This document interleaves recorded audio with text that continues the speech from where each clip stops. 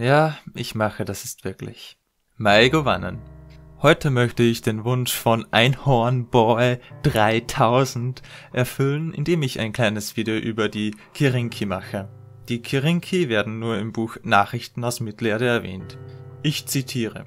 Auch im Binnenland von Numenor gab es unzählige Vogelarten. Von den Kirinki nicht größer als Zaunkönige, doch purpurfarben, deren pfeifende Stimme das menschliche Ohr gerade noch vernehmen konnte, bis zu den gewaltigen Adlern, die Manwe geweiht waren. Als kleine Anmerkung. Im Original haben die Kirinki die Farbe Scarlet, was übersetzt scharlachrot ist. Damit wissen wir also, dass die Kirinki eine kleine, sehr auffällige Singvogelart darstellen, welche aufgrund der hohen Frequenz nach einer Weile wohl eher sehr nervig werden könnten.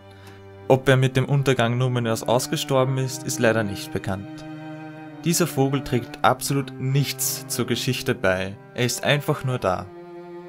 Und genau das macht Tolkien als Autor so genial und beliebt. Er erzählt nicht nur spannende Geschichten, sondern schafft es mit Hilfe von Worten eine konkrete und exakte Vorstellung seiner eigenen Welt mit eigener Flora und Fauna in die Köpfe der Leser zu pflanzen.